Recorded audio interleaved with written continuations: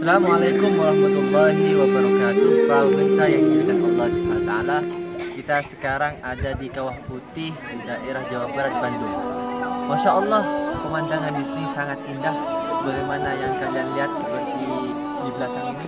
Ini adalah mengandung belerang.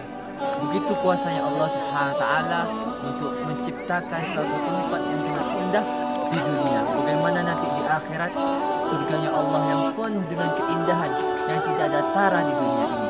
Maka para pemirsa yang dimuliakan Allah taala, maka kita melihat pemandangan kita tambah ingat kepada Allah Subhanahu wa taala. Oke, sekian para pemirsa. Wassalamualaikum warahmatullahi